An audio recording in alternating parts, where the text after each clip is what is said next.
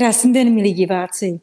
S velkou radostí vítám ve studiu, nebo aspoň na dálku, eh, doktora Mikuláše Štefana, léčitele Mikuláše Štefana. Ahoj. Ahoj. Já, jsem, já se předem omlouvám, já jsem tě minule nazývala Štefanem a ty jsi vlastně jménem Mikuláš, tak, takže eh, eh, vracím všechno na zpátek a omlouvám se, tak jestli ti může říkat Miky, tak, tak nebo Mik, Mikuláši, tak jak bude mi ctí. Jak Hlavně ti to nám vyjde? Dobře.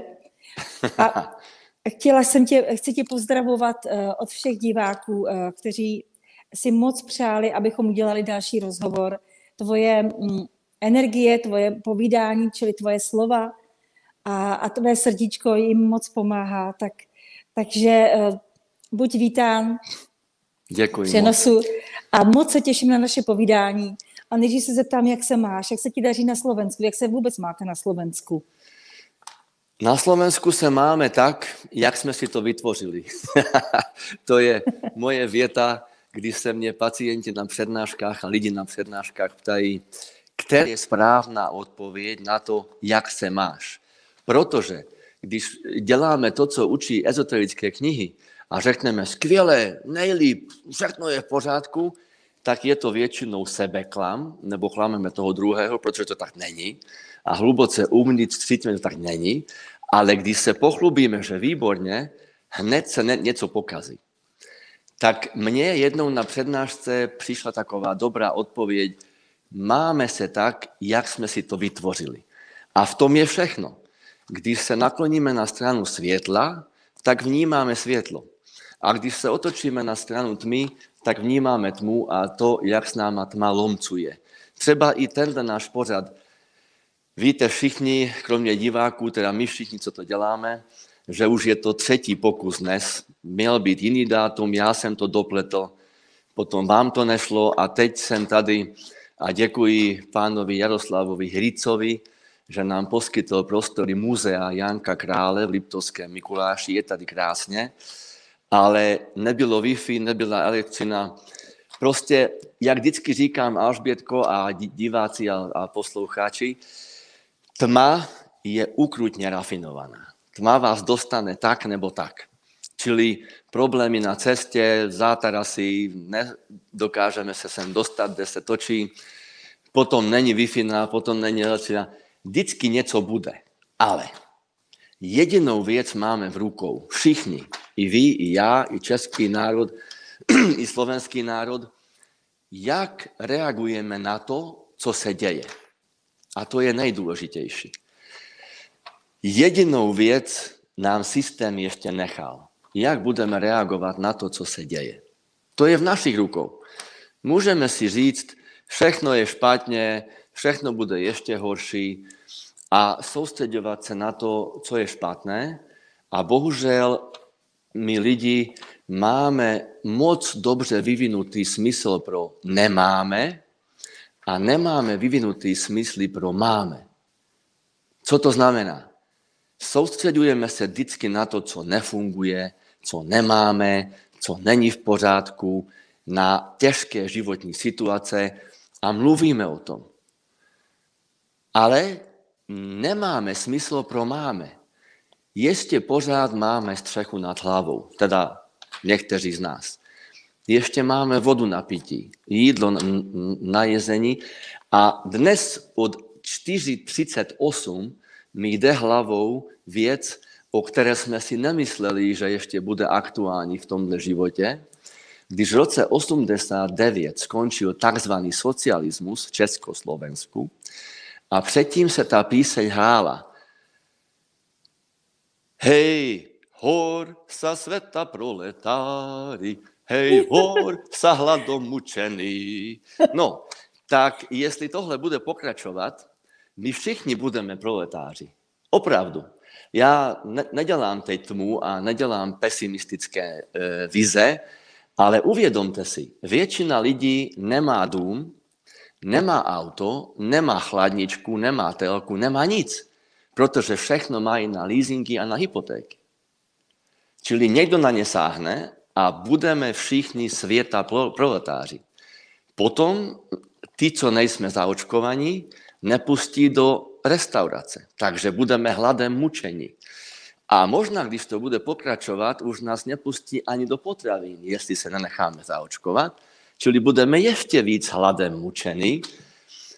A potom nastane ta píseň Provotáři všech krajín, spojte se, protože všichni budeme provotáři, bez jídla, bez pití, bez elektřiny, bez wi a bez všech těch.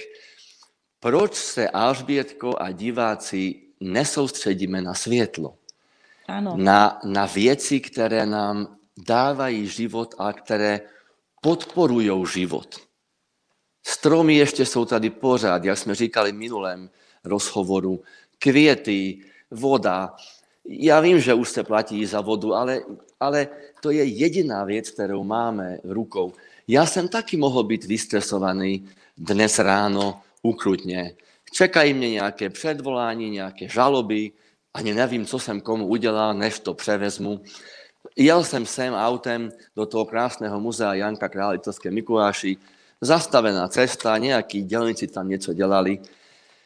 Taky jsem mohl sem přijít úplně vystresovaný a teď jsem mohl být mrzutý a nahněvaný, že jak začal ten den, tak bude pokračovat.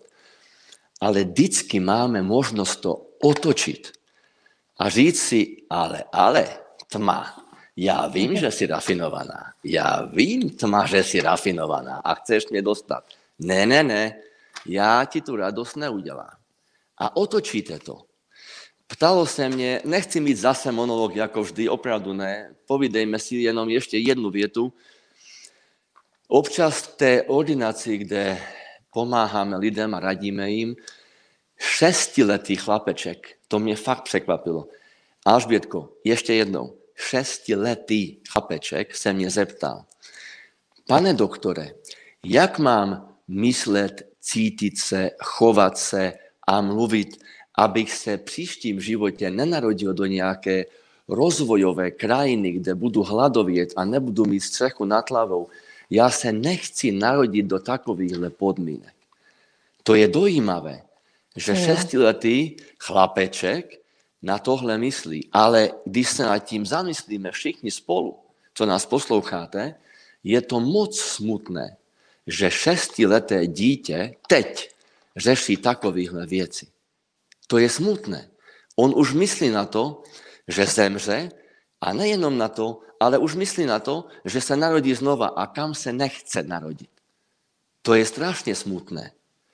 A jak nás manipulují přes ty mainstreamové kanály a přes filmy a našim dětem promítají pohádky, kde je násilí, kde je, kde je hrozba, kde je strach, kde je surovost, kde je bezohlednost, kde není vůbec pochopení láska a jemnost. Proč to dělají už léta? Proto, aby naše děti pochopili anebo měli pocit, že tohle je normální. Že násilí je normální, protože bez násilí tam venku nepřežijete. Že surovost a bezohlednost a bezcitnost je normální, protože city jsou projevem slabosti. Ale to je volovina.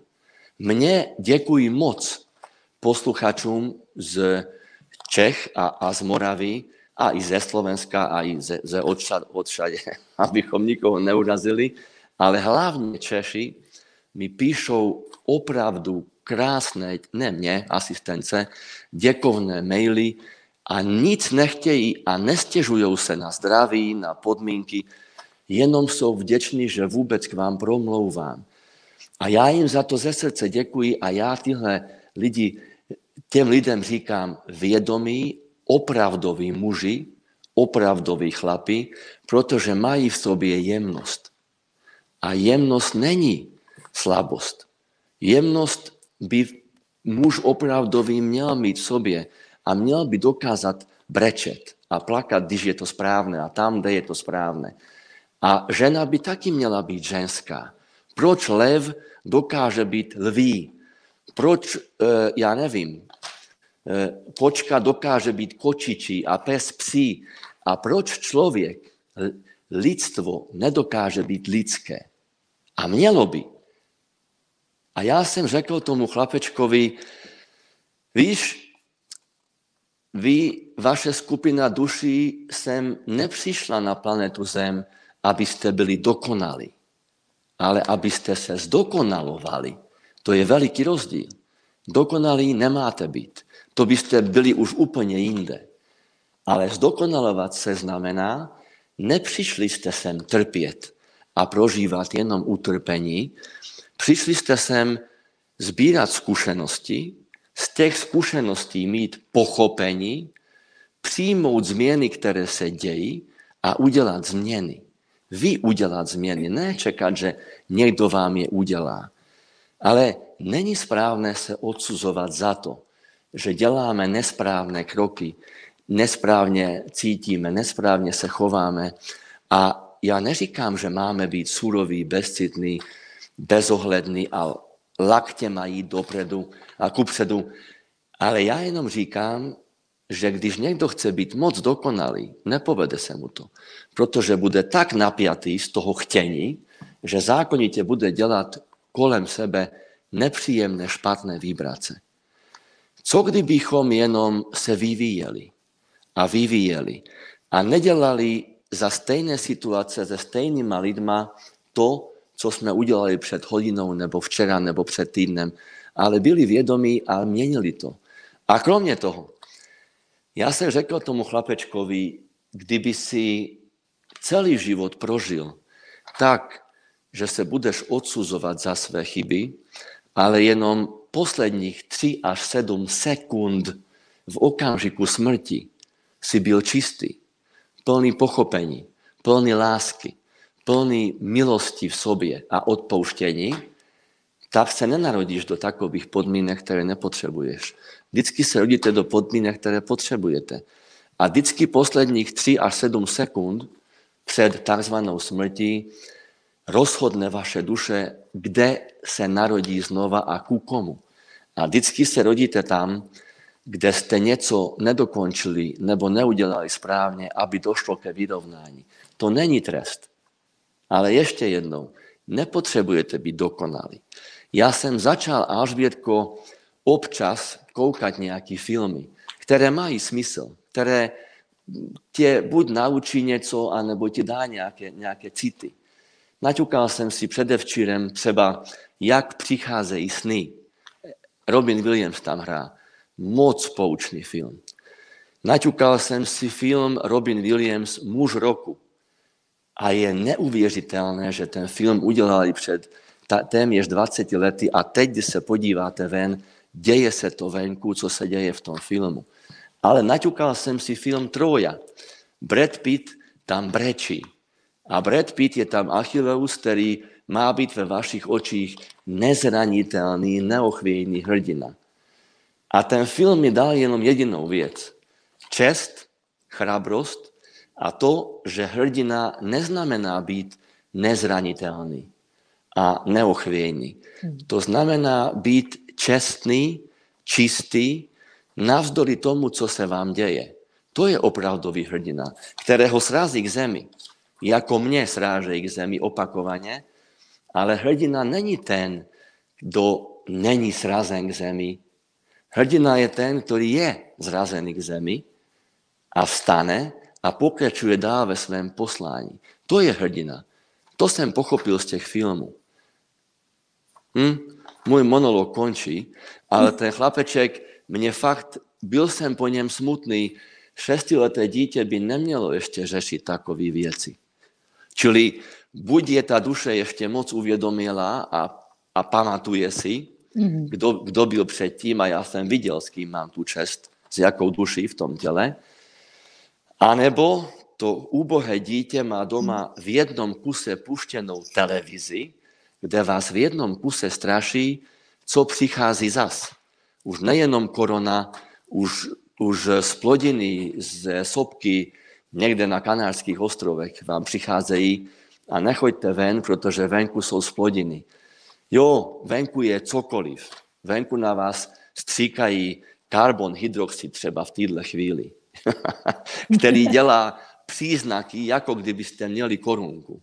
Třeba, jo? Ale vždycky ještě jednou, a tam jsem začal před pár minutama, jak přežiť v tomhle chaosu, soustředím se na něco, co podporuje život, ne smrt.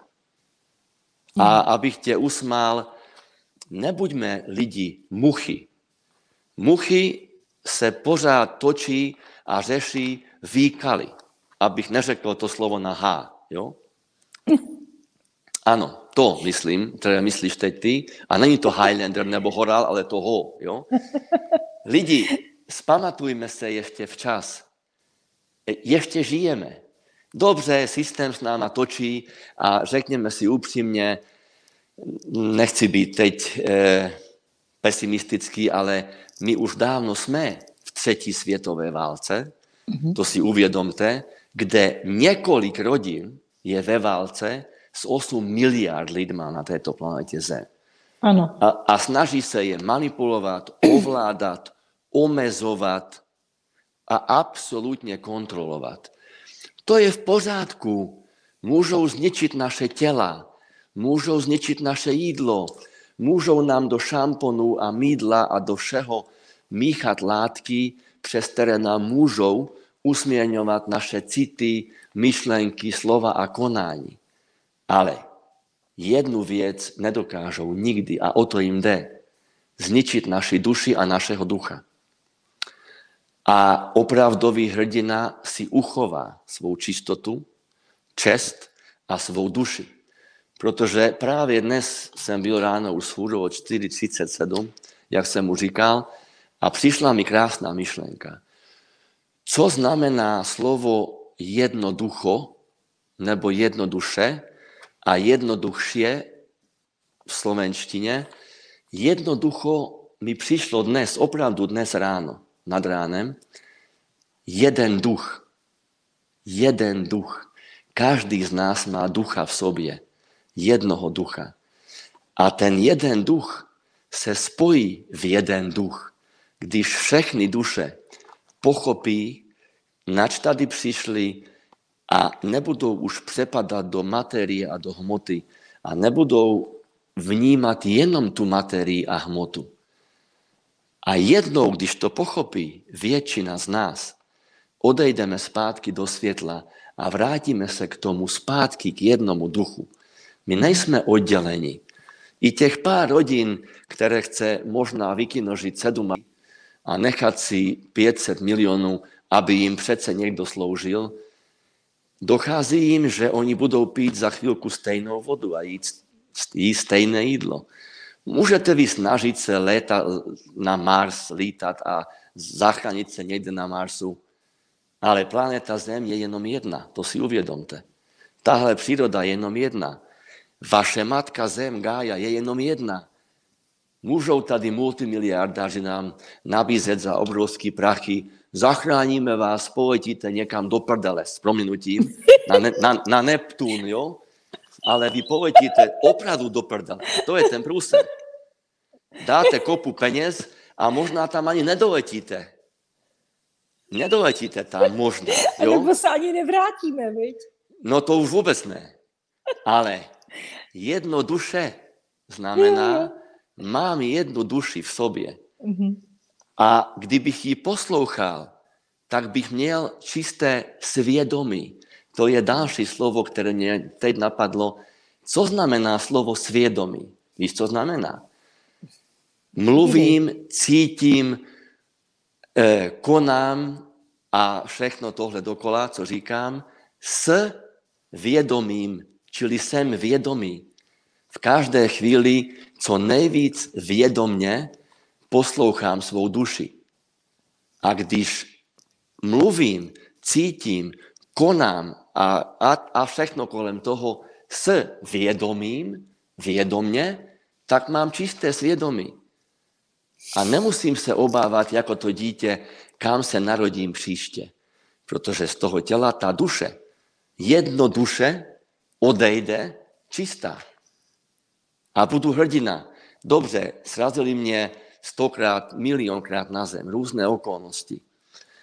Mně konkrétně obrali už několikrát o celý můj majetek, který jsem si poctivě pomáhaním jiných, jiným e, vytvořil No a co, Alžbětko, no a co? Zatím mám co jíst, mám co pít, mám tady flaši lahvy, lahvy s vodou a mám střechu nad hlavou. Nestačí to. Nestačí to. Opravdu chceme e, rýchlejší Wi-Fi 10G, 21G. Vy neuvědomujete si lidi, že to, za co nejvíc platíte, vás nejvíc ničí. Ano. Ne korunka, ne korunka vás ničí. Ten, ten internetový mor, to je vírus. Dobře, že teď byste nás neslyšeli, kdyby neexistoval Facebook a YouTube a Wi-Fi. OK, kromě tohohle povídání, jo. ale, ale když tam posloucháte, jak vás straší, jak vaše duše odejde z tohohle těla, když přijde její čas. Jak? Celá ustráchaná, nedokončené, nedokončený plán duše je nejhorší, co můžete proti sobě udělat. A já nikdy neposlouchám rádio, ale zapnul jsem ho, abych poslouchal, co je na cestě sem, abych se tomu vyhnul. A vaše tehdy oblíbená česká zpěvačka Ivetka Bartošová právě zpívala Léto, léto. A napadlo mě z té písně něco, zase. Vždycky já tak spontánně. Něco mně přijde od někoho, možná od nějakých duchovních mistrů. Ivetka Bartošová prý spáchala sebevraždu, samovraždu. Všichni duše, které spáchají sebevraždu, nic horšího nemůžete udělat proti své duši a duchu, než ukončit své volně svůj život. Protože to není plán duše. Každá duše má svůj plán a ten si přijde do tohohle těla splnit. A sem, samovrah, sebevražda nikdy není v plánu duše. Nikdy. Protože máte v ruksaku určité úkoly, které máte splnit, určité dluhy, které máte splatit a určité dluhy od jiných, které zase máte dostat. A když kdokoliv z vás udělá tu samovraždu, tak zaprvé ta duše nedokáže jít do světla, či do čtvrté dimenze a pochopit, kde to bylo nesprávné. Nebude promítnuto té duši, za první, za druhé, v tom ruksaku zůstane něco, co jste nesplnili. Ale bude se snažit ta duše znova se rýchle narodit, aby splnila ty úkoly. Jenomže už nabere do toho ruksaku další úkoly. Čili to je ten, potom ten ruksak ještě těžší. Za druhé, ta duše hned uvidí, že tím činem, který udělal ten člověk proti své duši, čiže, či sebevraždou, se nic nevyřešilo. On, ta duše existuje dál v tomhle světě, ale už nemá tělo, aby konalo, už nemá tělo, aby napravilo tu chybu, už nemá hlas, už nemůže hnout s. A tím pádem na tom místě činu zůstane to, co se jmenuje bloudivá duše. A teď apeluju na vás, na český národ a na slovenský a všichni, co mě slyšíte, každý z vás, kdo ještě pořád je v těle a má šanci jenom trošku být vědomější a už nenenávidět a nezlobit se a nebyt pomstychtivý a bezočivý a zúživý hlavně, když vy všichni si uvědomíte, že tohle je všechno jen hra tmy. A když dojde k tomu, že těm pár rodinám se povede zničit naše těla, ale duši ne, tak vy všechny ty zbloudilé duše budete brát krásně sebou do světla. Čili prosím vás, rodiče, kterým se za sebe vraždilo dítě, nebo děti, kterým se za sebe vraždili rodiče, nebo vy, které, kterým partner se za sebe vraždil, fakt vás prosím, uvědomte si, že pomůžete, pomůžete těm duším s váma jít do světla, když vy všichni budete žiť do té doby, než opustíte tělo správně. A říkal jsem vám to minule, co je správné? Správné je to, když nešířím utrpení. Čili postarám se o to, abych se já cítil dobře. Abych já tím, že se cítím dobře, nevysílal vibrace utrpení do svého okolí. A když vysílám, tak budu konat a změním to. Ale jedna krásná věta, Alžbetko, nevím, kdo to řekl, někdo to řekl, nemůžete přesunout skříň, v které stojíte uvnitř. Mm-hmm. Chápeš to? To je moudré. Ne, nemůžeš přesunout skříň, v které stojíš uvnitř. Čili, když my uvěříme no, všemu, když my uvěříme všemu, čím nás krmí, a já nejsem mm-hmm. konšpirační, nejsem, vůbec ne, já uznávám všechno a nikoho neumezuju a nikoho neosočuju, jenom pozoruju své okolí.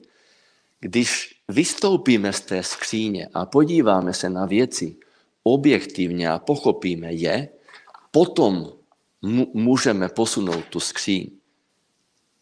O to tady jde. Nezapínám zprávy, neposlouchám to, co neslouží životu. Zabývám se tím a nejsem mucha pro Boha. Neřeším v kuse toho. Protože toho mě jednou může tak pohltit, že ho budu mít až po krk a toho mě udusí. Ale ne, nebuďte lidi muchy. Mikuláši, prosím tě, uh, co by si poradil lidem, kteří spíš inklinují k tomu negativnímu a kteří uh, občas, někdy i často myslí na to, že by tady ukončili svoji inkarnaci. Každá rada tady dobrá, protože těch lidí je hodně, kteří tady nechtějí být. Těch lidí je hodně, kteří si neví rady, kteří sice vědí, že mají svobodnou volbu, ale nedokážou svobodně volit. Co bys jim poradil? Jak z toho ven? Jak, jak ven z toho vnitřního utrpení? Utrpení neexistuje. Utrpení jako takové je subjektivní věc. Čili můžete, můžeme se na to podívat takhle. A taky mi to přišlo dnes ráno. Nemusíte mi věřit, dnes ráno mi přišla věta někdy kolem sedmé hodiny. Neexistují špatné zprávy, jenom možnost a příležitost zapracovat na svém vývoji. To je krásné, ne? Když tohle si uvědomíte, neexistují špatné zprávy, jenom možnost a příležitost zapracovat na svém vývoji. Co to znamená? Všichni teď my proletáři světa, co jsem už řekl, jako vtip, ale bohužel je to krutá realita, že možná postupně budeme hladovět a proletáři světa budou hladovět, si mají uvědomit, že tohle je opravdu hra tmy s náma a bude se to sužovat, ten kruh. Ty podmínky se budou sužovat a budou stále tvrdší. To všechno je materiální věc, materiálná věc.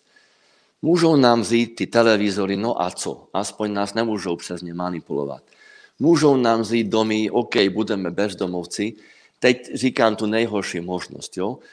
Možná, že lidem, kterým seberou byty a domy a auta, budou se zdát humánní, ten systém, a udělají vám lágry, jako někdy ten s malým knírem udělal lágry, to si všichni pamatujeme, pro lidi, ale stejně máte možnost výběru uvědomit si, já jsem duše, svobodná duše a nezničitelný duch. Ale dokud jsem v tomhle těle a pokud jsem v tomhle těle, budu se starat o to tělo, jako kdybych měl žít tisíc let. Ale Alžbětko, o duši se budu starat, jako kdybych měl zemřít teď. To domyslí do konce. To tělo potřebuje jíst, pít, spát a tak dále, vitamínky, cokoliv, bylinky, čaje, přírodní věci, to ano. Dám to tomu tělu, ale uvědomuju si, že je to pořád jenom 5% toho, co my, co, co my voláme život. ale 95% se kolem nás deje neviedomne a hlavne neviditeľne. A neklesejme do deprese a nebuďme negativistickí a nevidíme všechno černe. Vidíme to tak, že co když tady není jenom tma, ale jsou tady bytosti. Říkejme jim vysoce vyspělé duchovní bytosti, které jsou tady. A neovládá nás jenom tma. A ty bytosti jsou tady pro naše duše a našeho ducha, aby z toho nakonec mohol byť jeden společný duch, jak to bylo původně. A ty bytosti světla jsou tady pro nás, pomáhají nám, jen se s nima je třeba spojit. Ale pokud jsme muchy, mouchy a v kuse se orientujeme jenom na to, co nefunguje, tak my krmíme tmu. Vědomě nebo nevědomě krmíme pořád tmu, když jsme mouchy. Hmm. Co kdybychom se otočili k těm světelným bytostem a říkali si jenom dokola, děkuji a vím, že jste tady pro nás a pomáháte nám do světla. A tohle opakovali 100 tisíckrát denne a nahradili tím naše tmavé myšlenky a obavy. Nevěřte mi, udělejte to 21 dnů. Jenom 21 dnů. Slepice má úplně malý mozek, úplně malý, takovýhle. A představte si, že ale má dostatek trpělivosti a vytrvalosti a výdrže, že 21 dnů věří tomu, že když bude sedět na těch vejcích, tak z toho bude život. Lidi, jaký máte mozek? Jakou máte duši? Jakou máte výdrž, vytrvalosť a, a, a trpělivost, když 21 dnů se nedokážete aspoň na to soustředit, že v každé chvíli, když přijdou tmavé myšlenky, si vzpomenete na mě a na mé slova a řeknete tam nahoru stvořiteli, děkuji a vím, že jsem zdravý a vždycky se děje to nejlepší podle plánu mé duše. A už budete přivolávat ty duchovní bytosti a světlo a už budete posilňovat ty duchovné bytosti a světlo svou pozorností. A přestanete být mouchy. Co kdybychom to vyzkoušeli všichni 21 dnů? Já mám dnes jít někam na poštu, převzít nějaký soudní předvolání. Já fakt jsem nikomu nikdy vědomě neublížil. Já nevím, co mě čeká. Ale je to na mě vidět. Jsem tady bledý, zelený, skleslý, bez nálady. Ne, já nevím. Já tam půjdu, přečtu si a potom to budu řešit. Ale jaký by mělo smysl, Alžbětko, teď se vám všem stěžovat, nespal jsem kvůli tomu celou noc, mám křeče v žalúdku, e, průjmy. Jsem tady pro život. Venku svítí slunce. Dáváme lidem krásný rozhovor. Jedině tohle má smysl na světě. Ne mainstream média. A ne pořád se soustředovat jako mouchy na toho. Tohle je můj odkaz pro vás dnes. Nevěřte mi lidi. Jedna, dvacet dnů, vždycky, když přijdou tmavé myšlenky a obavy o své zdraví, o to, co nám systém dělá, a kdy zemřeme, díky systému, to si řekněme, tu myšlenku nahradit jenom jednou větou. Stvořiteli, děkuji a vím, že všichni jste tady pro nás. A vždycky se děje to nejlepší podle plánu duše. Jedna, dvacet dnů, udělejte to. A potom pišteme asistence a do cesty k sobě, jak to krásně funguje. Jenom to. Ale učím lidi v mé ordinaci. Jak jsem říkal, ne, nepřišli jste sem být dokonalí, jenom se zdokonalovat. Není správné se na sebe zlobit, když si to řeknu jednou dnes a dalších 60 tisíc myšlenek bude zase nesprávných a tmavých. A večer si řeknu, Ježíš Mária, zase jsem to neudělal celý den. Lidi, tohle je zase hra to si uvědomte, protože když se budete odsuzovat a zlobit se sami na sebe, už zase krmíte tmu a zase jste mouchy. Nebuďte mouchy. v noci před spaním si řekněte, OK, dnešní den možná nebyl optimální ani ideální, ale mám se rád, jaký jsem. Přijímám se, jaký jsem. A odpouštím si za celý dnešní den. Hotovo. A těsně před spaním si říkejte, děkuji a vím, že se děje to nejlepší, to nejlepší podle plánu mé duše. To je celé. To je celý dnešní odkaz. Až větko. Mikuláši, eh, řekl si v podstatě úplně všechno a to nejmoudřejší. Eh, buďme v srdíčku, eh, mějme se rádi, sami sebe a navzájem. A těch 21 dnů opravdu dodržíme. Stojí nám to za to. Nebuďme mouchy. Ještě něco řeknu ano. kolem těch ano. 5, 5%. Ano.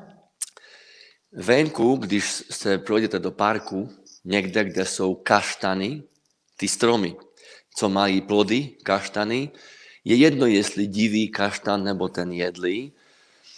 Teď je na to sezóna pozbírat kaštany, nechat je někde na suchém místě, teda umít je pořádně, aby nesplesníveli a dát je pod postel.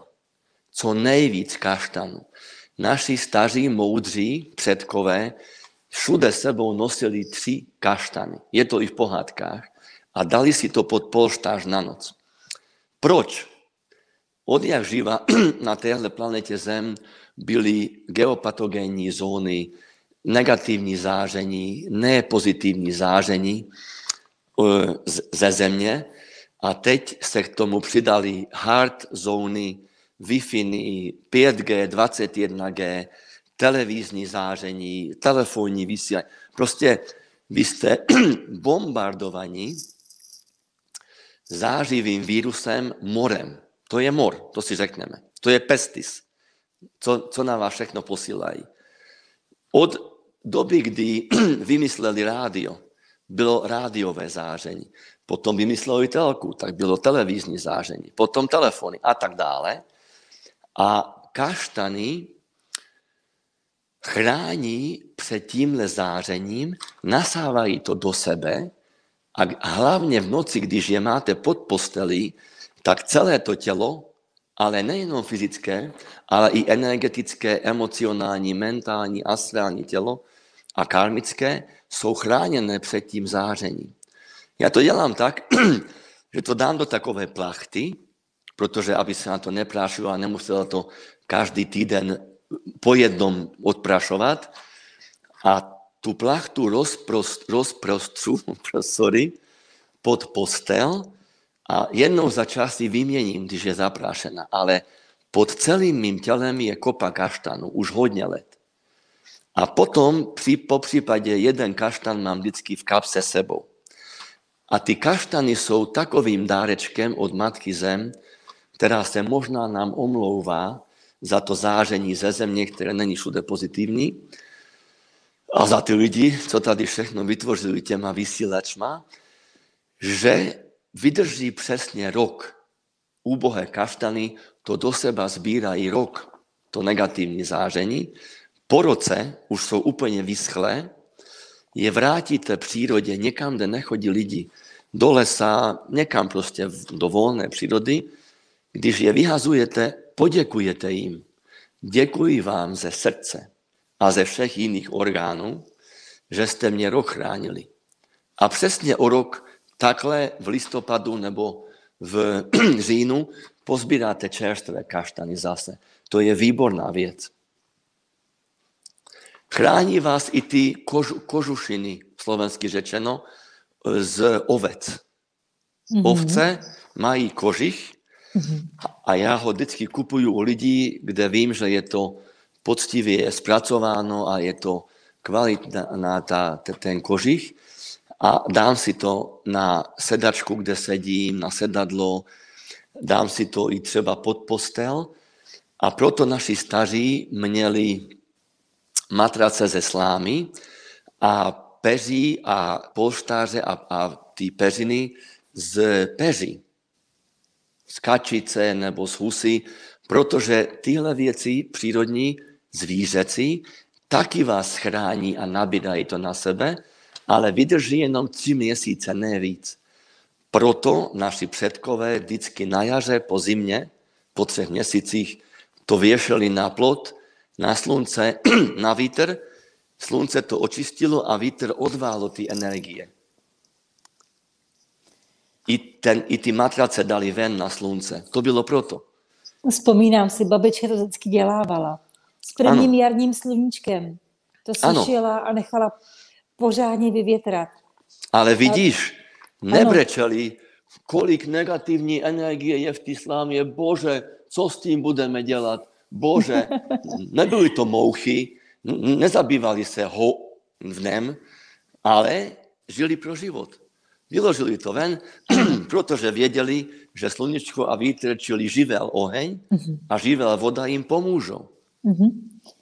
Mikuláši, eh, a jak vidíš kameny, eh, to nemusí být jenom křišťál. Já si myslím, že mnoho jiných i normálních kamenů, když si dáme pod postel, pod hlavu, tak eh, a když je poprosíme, aby do sebe absorbovali naši negativní energii, myslím, že to jsou taky velcí pomocníci, kameny. Bohužel trošku ti budu odporovat. Ano. Velký pozor, prosím, velký pozor se zlatem, stříbrem, mědí, eh, křišťály a kámeny, protože když je najdete v přírodě, v potoku, v řece, někde, je to v pořádku, protože celý čas měli kontakt, přímý kontakt s Matkou Zem, která je v kuse čistí, dokud s nima má kontakt. Když už se vytěží ty křišťály nebo zlato a prodávají se v obchodech, oni na sebe absorbují úplně všechny energie. Čili prodavač, který je, pardon, neurotický, depresívny, je plný strachu, zuživosti, právě se rozvádí a manželka ho obere o všechen majetek a na, tém, na to myslí celý čas, tyhle křišťály, kámeny, zlato, stříbro, kovy, všechno na sebe probírají a absorbují. Čili vy si koupíte kámen, nějaký turmalín, ametist, citín, cokoliv můžu vyjmenovat, protože jste četli na internetu, že tohle, třeba ametist, a priori sám o sobě má program od Matky Zem léčení. Všeobecně léčení. Jo? Horský křišťál je neutrální.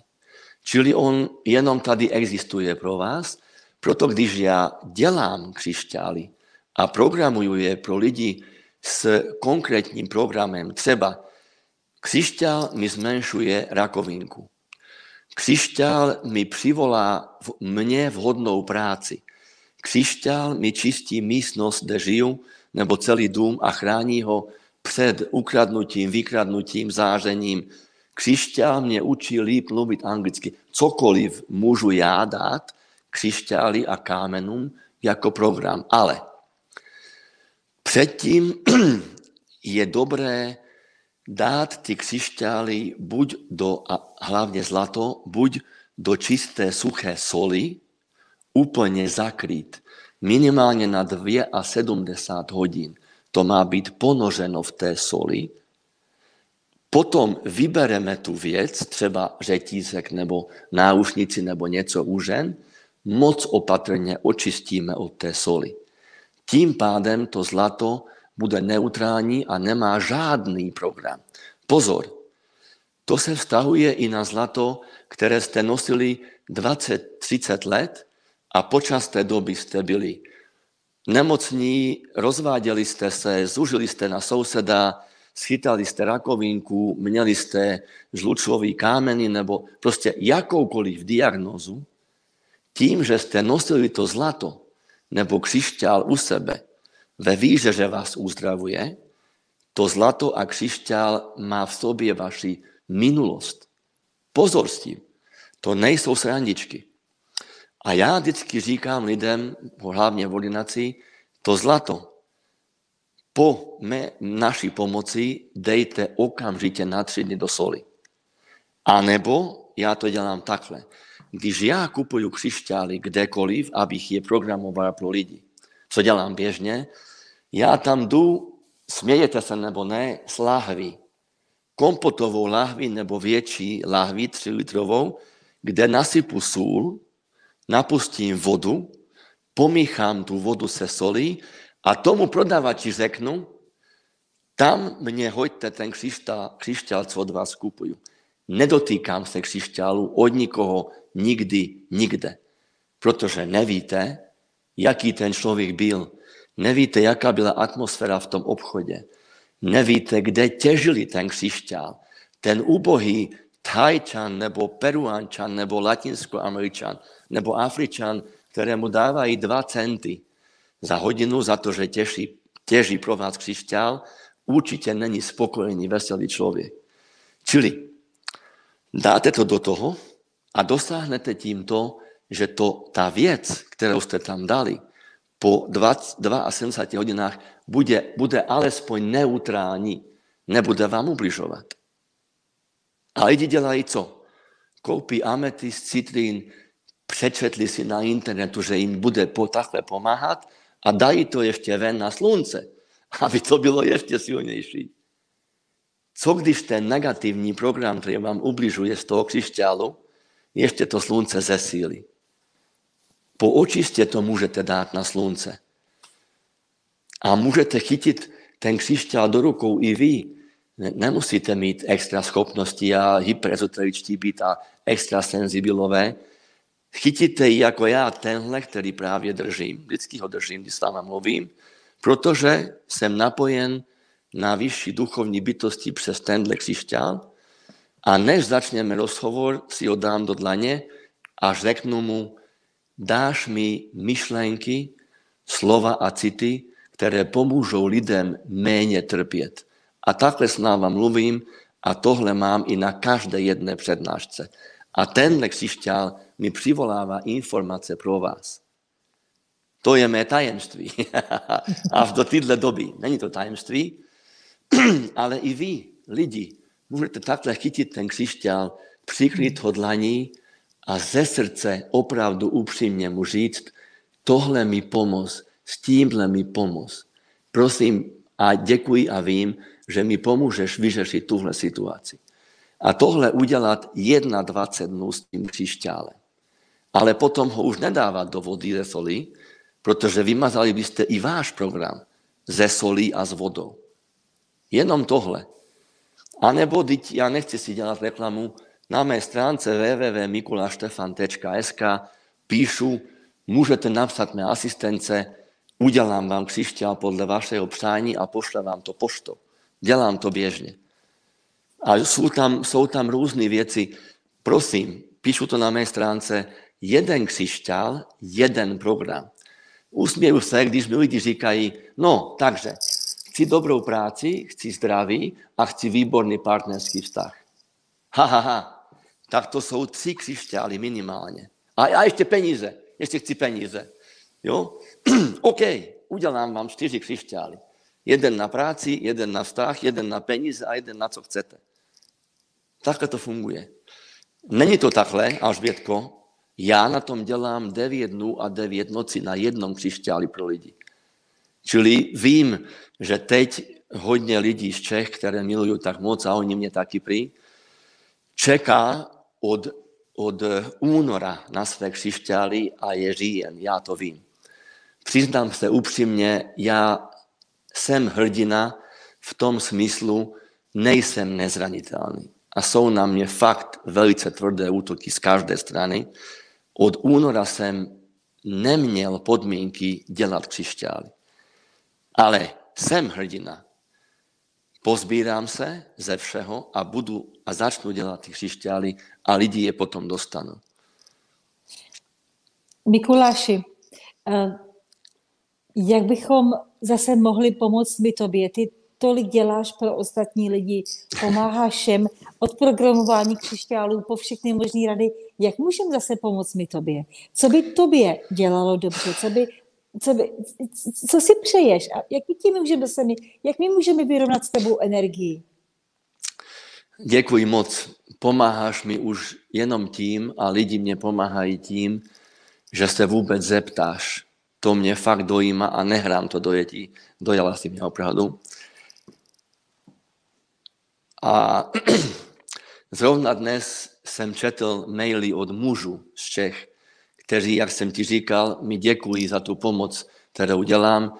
Vy mi pomáháte tím, že aspoň děláte, co píšu v té mé knize, žijete podle toho, žijete podle toho, co vám doporučuju, pomáháte mi tím, pomáháte mi svou pozorností. Já to vnímám. A je krásné, když lidi mi řeknou v ordinaci mezi čtyřma očima, pane doktore, já nejenom myslím na vás, ale já se za vás modlím. Každé mhm. ráno a v noci před spaním prosím vášho Otce, Stvořitele, aby vám dal sílu, abyste v tom pokračovali. Pomáháte mi. Ale vidíš, není umění být nezranitelný, jak ty akční hrdinové schytají 20 a nic jim není. Ale zůstat navzdory dění, navzdory situacím, které jsou fakt tvrdé ale a, a, a, a ještě tvrdší, zůstat čistý, čestný a nadále pomáhat a neptat se, jak mě můžete pomoct, ale jak já můžu pomoct vám.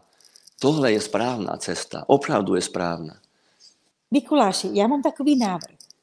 Uh, abychom s tebou mohli vyrovnat energii, prostě taky něco udělat pro tebe, protože ty pro ostatní opravdu děláš hodně.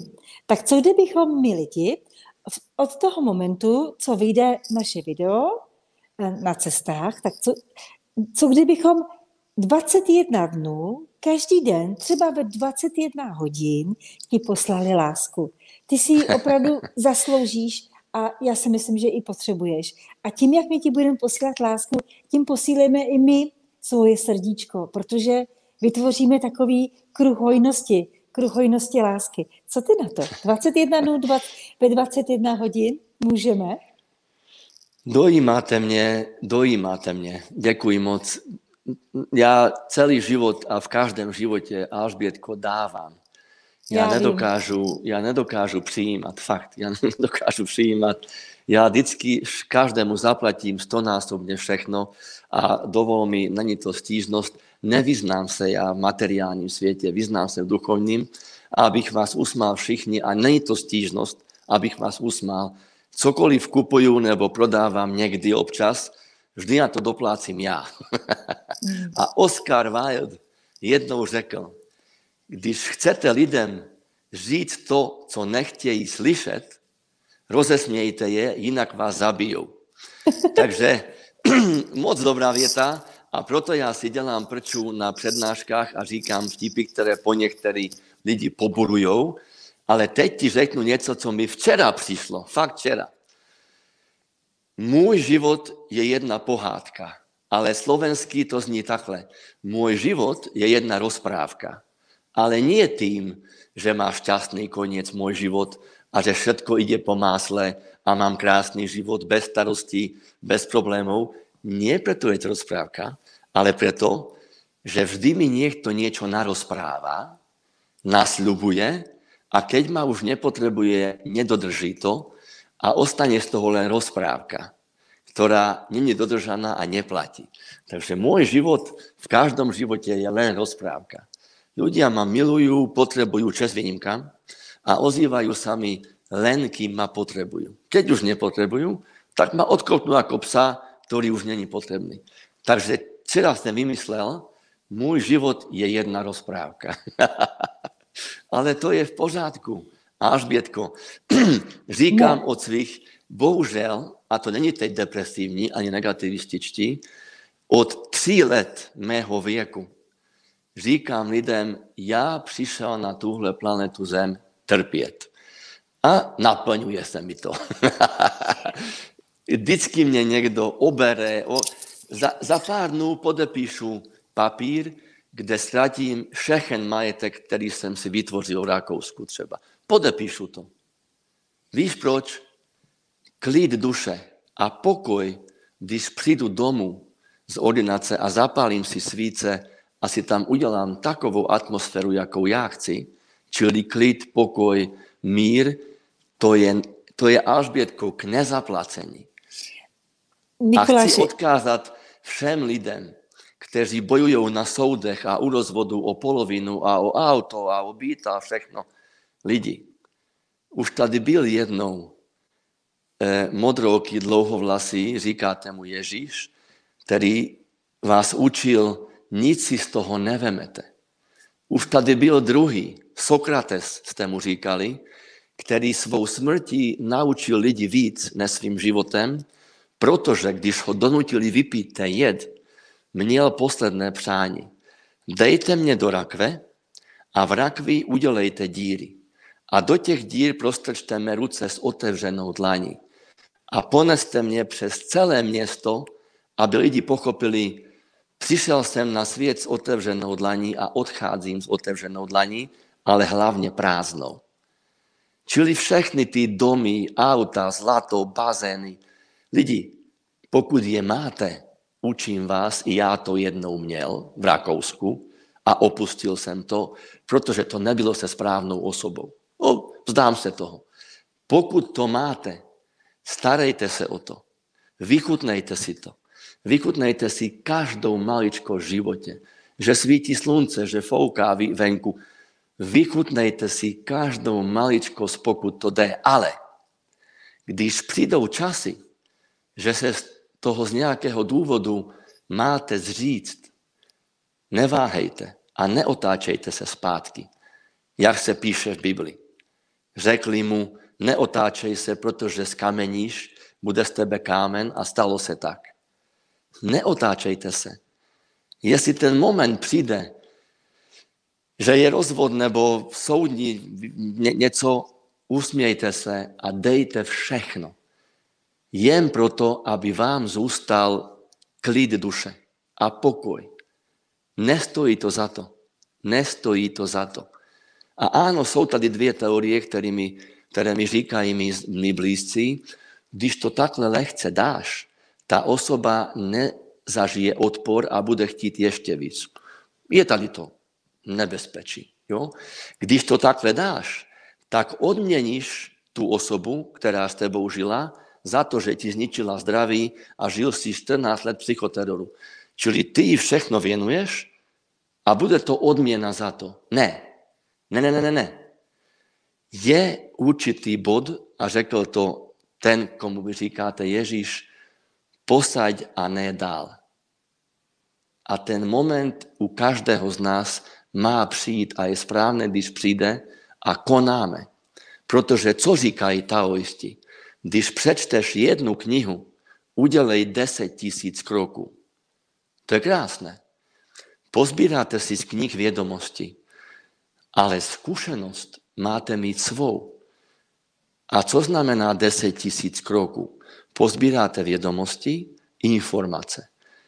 Můžete jít za právníkama, můžete se radit, můžete cokoliv v tomhle materiálním světě. Ale potom přijde ten moment, když se máte rozhodnout na základě těch informací. A potom přijde další moment, je správné konat. Ale když vy strávíte příliš moc energie a času přemýšlením, sbíráním informací a rozhodováním se, tady se to zkrátí a tady je ta dírka malá, kde byste měli konat, ale vy už nemáte energii konat. Vy už, vy už jste vyčerpáni a nemáte energii konat po vašem rozhodnutí. Tyhle vzdálenosti mají být rovnomierné. Aby tohle tady zůstalo a máte pořád dost energie konat. A je správné konat. To je těch 10 tisíc kroků. Takhle to je. Já děkuji ze srdce, že mi chcete pomáhat. Já neodmítám. A taky tak uděláme. A moc rádi, protože ty nám taky moc pomáháš, víc než si myslíme. Ale já to nedělám proto, abych dostal něco zpátky. To my víme. Víš, Ale my to děláme do... proto, abychom ti nezůstali dlužní. Nejste dlužný, nejste. Ale Duchovní svět, já tomu říkám to je, vyrovnání energií a to má tak být. to ano. V, Ve správný čas na správném místě. v partnerském vztahu, v pracovním vztahu a v duchovním světě má být rovnováha. Ale největší chyba, teda chyby neexistují, řekněme to tak, nejnesprávnější je číst duchovní knihy, abych já byl jiný jako ostatní, abych já byl zajímavější jako ostatní, abych já vynikal mezi ostatníma. Meditovat jenom proto, abych byl zajímavý. Já medituju tři hodiny denně a objímám stromy. Lidi, tohle je hra tmy a vašeho ega. Chcete být jiný, chcete být ezoteričtí, chcete být duchovní. Z důvodu tohodle nebudete nikdy. Ale z důvodu, já budu meditovat, objímat stromy, chodit do přírody a starat se o tělo i o ducha, abych měl takové vibrace, které lidi pocítí a jim bude příjemně taky a potom bude příjemně i v tom městě a v tom státě, jak vždycky říkám. Tohle bez toho, že bych očekával zpátky něco, vděku, peníze, něco, je správná motivace vyvíjet se. Nesmí tam být ten záměr ega, dělám něco, protože, protože to není už duchovno, ale je to obchod. Pohladím partnerku jenom proto, aby mě taky pohladila. A to je volovina.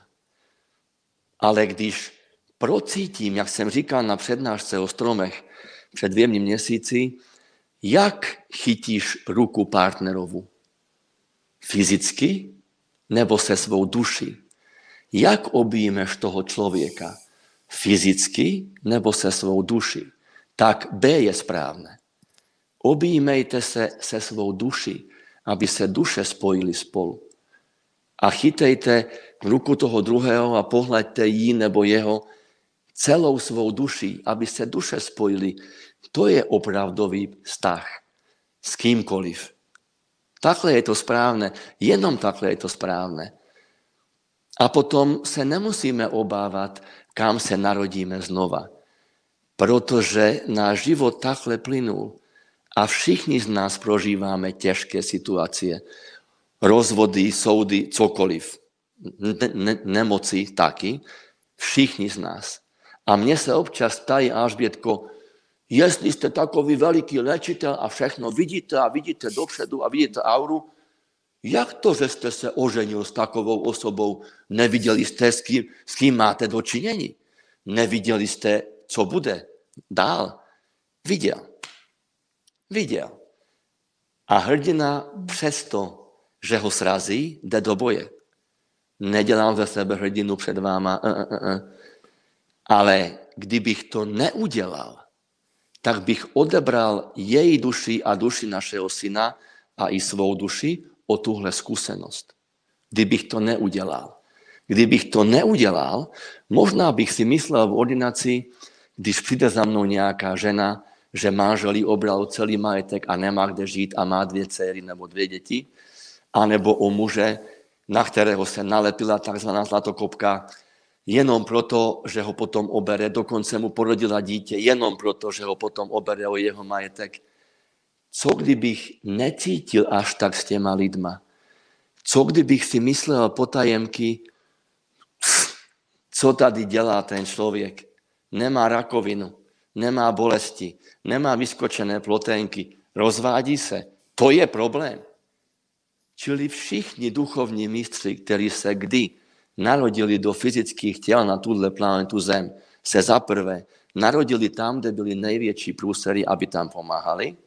Za druhé, sami měli těžké porody, těžké nemoci, plus si nabírali ještě těžší životní situace proto, aby byli empatičtější.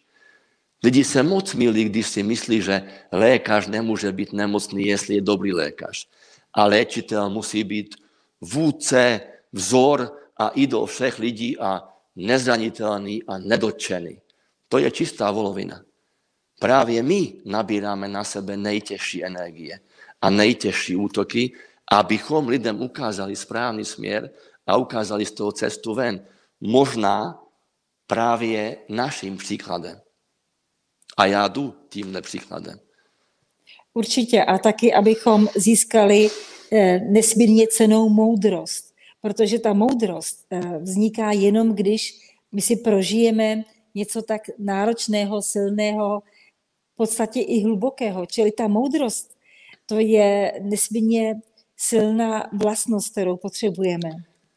Řeknu ti ještě něco k tomu, ale fakt prosím všechny, co to poslouchají, nestěžuju se. Je rozdíl stěžovat se a pořád být moucha a stěžovat se na něco a je rozdíl být upřímný. Já jsem jenom čistý, přímý a upřímný a nic nezatajuju, ani ze svého soukromí. Víte, co mě posloucháte i na přednáškách, klidně řeknu cokoliv, doslova cokoliv. Jo? A, a proč to jenom všechno říkám? Možná, kdybych navzdory tomu, že jsem od svých tří let říkal svým příbuzným a blízkým a matce a otcovi, napíšu knihu v tomhle životě, která pomůže opravdu lidem pochopit věci, kdybych měl ideální, optimální partnerský vztah a pracovní vztah a měl bych opravdu pohádkový slovenský rozprávkový život, možno kniha Odkaz slunečnice by nikdy nevznikla. Ale psal jsem vždycky, když jsem buď trpěl ve svém soukromí, co bylo dost často posledních 17 let, díky jedné osobě, anebo trpěli lidi v mé ordinaci a napsal jsem rýchle rukou to, co jsem jim doporučil v té ordinaci a pomohlo jim to. Čili ta kniha není nějaký román, to jsou zkušenosti stá tisíců lidí a mé. Tak to vzniklo. Napsal jsem tam a já vím, že už rok lidi čekají pokračování a mám to pokračování v tomhle telefonu, z kterého teď vysíláme, jenom to chce čas, někdo, aby to přepsal do psané formy, do počítače, to, co je na tom diktafonu, v tomhle telefonu, ale nechci tomu dělat reklamu, Alžbětko. Minule jsem četl jednu kapitolu z té nové knihy. Já jsem brečel jako malý kluk, tři, takhle mi teply slzy, ze srdce jsem vzlikal a brečel. Tak to je dojímavé. Už se na ní moc těšíme a prosím tě, eh, ta první kniha je ke koupi, ještě dá se koupit? No, nevím, co se děje v Čechách s Majtrou, jestli stíhají dotlač, ale mám ještě pár sto, možná že 500 kusů slovenské verze knihy. Právě na té stránce www.mikuaštefan.sk se píše, kam máte napsat, když ji chcete. Ještě něco, zase upřímně. Já jsem tu knihu psal velice skromně ve třetí osobě. On, on léčil jeho tělo a Maitreja v Praze mě ukecala toho času, doktore, přepíšme to do první osoby, protože prý se to čtenářům čte líp a líp se do toho dokážou vžít v první osobě. Já je poslechnul a někteří lidi se mi přiznají, že je dráždí ta první osoba. Já, moje tělo, krásné, formované, já, já, já. A ztratí se v tom a nepochopí myšlenku té knihy. Slovenskou knihu jsem díky Bohu poslechnul sám sobě, sám sebe, sorry, a je napsaná v původní verzi. On, jeho tělo, on léčil. Je to jemnější verze Alžbětko, ta slovenská. Je dostupná mm-hmm. ještě, ale v Ikaru a v obchodech už není, už je vyprodaná, ale jak říkám, na mé stránce si ji můžete objednat. A budu rád. Nebude mi to zabírat místo v garáži, kterou už ani nemám, protože mě oni za dva týdny oberou.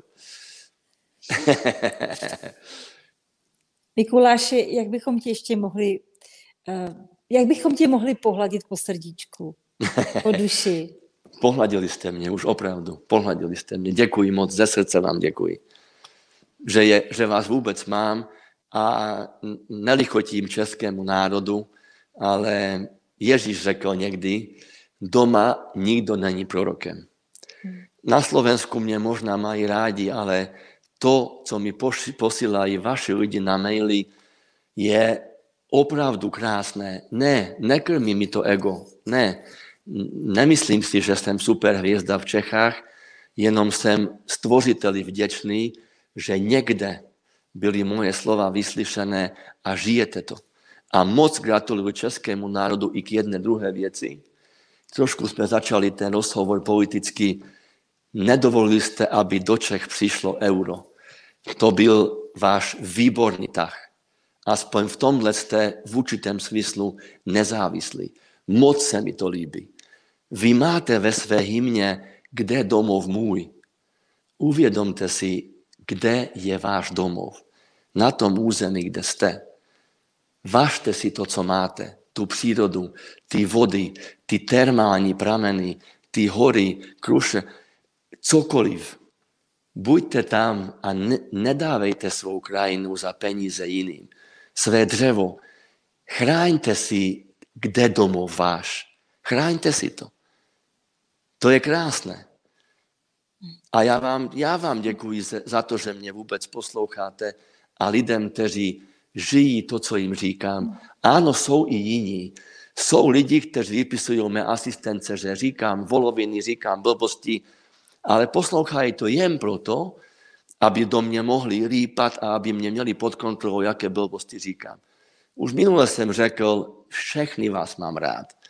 A ty nevědomé mám ještě radši, protože možná má láska k ním a odpouštění vůči ním je trošku zvedné. A když se začne zvedat tma, tak se z ní stane světlo. To mi přišlo teď, fakt teď, jak, jak s tebou mluvím hlasitě. Ještě jednou. Když se začne zvedat tma, čili i ty lidi budou trošku uvědomělejší, tak se z tmy stane světlo. To je krásné. A to se dá udělat. Ještě na to máte čas. Ještě jste všichni v tělách. Přesně o to jde a přesně to si přejeme. S tmy udělat světlo. Ze svých temných, negativních myšlenek, ze svých strachů udělat světlo, lásku, dobrý ale, pocit. Ale zopakuju to ještě jednou s dovolením, nechci natahovat čas, abyste si fakt uvědomili, uvědomili všichni, co to posloucháte a vidíte ten rozhovor. Nejde to vždycky. Jeden tady byl dokonalý a vy jste ho ukřižovali. Nesnažte se být dokonalí, jen se zdokonalujte. Čili když v této chvíli ta stejná osoba, která vás dohnala k zuživosti před týdnem, před měsícem, vás zase dožene k zuživosti. A to může být vaše matka, klidně, váš otec, vaše dítě, váš nadřízený, e, řidič v autobusu. Není správné se odsuzovat, zase jsem podlehl zuživosti a hněvu. Ale okamžitě si uvědomím, zase jsem podlehl tmě, odpouštím si za to, přijímám to a potom to otočím a nahradím to něčím, co chci. Třeba tou mou větou. Děkuji a vím, že příště, když potkám tohoto člověka, budu trpělivější a, a, a odpouštivý. A nenechám se už zase dostat do tmy. Ale odpouštějte si, odpouštějte si za všechno.